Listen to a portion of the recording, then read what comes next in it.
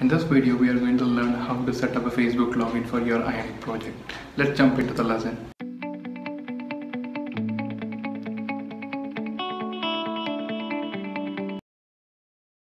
First, we need to create a project. To create a project, we are executing Ionic start and then a project name and then the template name.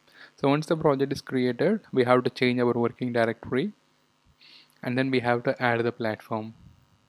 Here I'm adding Android platform.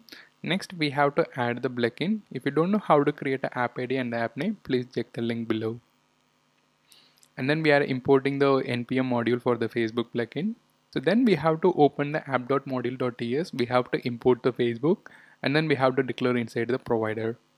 So once it is done, we have to open the home.ts and inside that we have to declare the Facebook and then we are creating a Facebook object from the Facebook uh, npm module.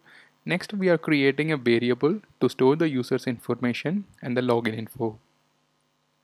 Then we are creating a function called login with FB. So to access the API calls inside the Facebook.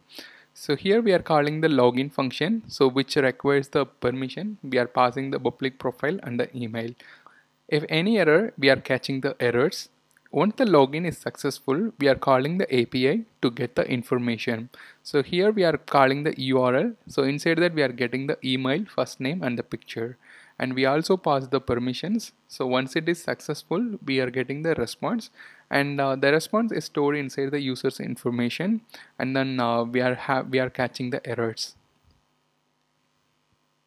And then we are creating a logout function so fb.logout which allows you to log out the so if any error we are catching the errors next we open the home.html so we are just changing the title and then I'm creating a footer for uh, displaying the login button. If the user is logged in, if it won't display. If the user is not logged in, it will display. And then we are creating a div class to display the user's information on the uh, content page. Here we are uh, accessing the images and then uh, we are accessing the first name and then email address. And we also create a button for uh, logout so here it's an output.